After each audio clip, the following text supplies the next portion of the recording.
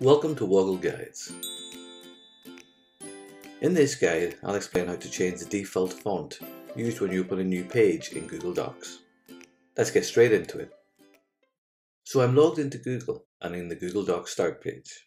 To change the default text, I first need to open a new blank page. I'm going to click on the plus icon to create a new untitled document. I'll quickly add some text to this to see how it looks. By default, the normal text in Docs is Arial size 11. Black is the default color, and no bold or underline features are added to it. I'm going to select all of the text I added by holding down my left mouse button and dragging the mouse pointer over the text.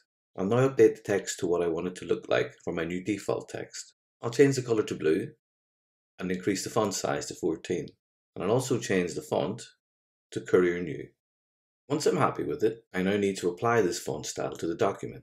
Still keeping the text selected, I'm going to move my mouse pointer to the menu bar and I'll select the Format option. A menu appears with a number of options. I'll scroll down to the Paragraph Styles text and when I move my mouse over that, a number of further options are shown. I want to change the default normal text for this document, so I'll move my mouse to that and you'll see that presents two further choices. And I'm going to choose the option Update Normal Text to Match. Nothing appears to happen, but what we've effectively done is change the default text style for this document. However, we want to change it for every new Google Docs page, so there's one further step we need to take. I'll return my mouse to the format option in the menu bar, and I'll scroll down to paragraph styles again. But this time I'll move all the way to the bottom of the list presented, and I'll choose the options link. We now need to confirm that we want to apply this default font to every new Google page we create. And to do that, I need to choose the option to save as my default style.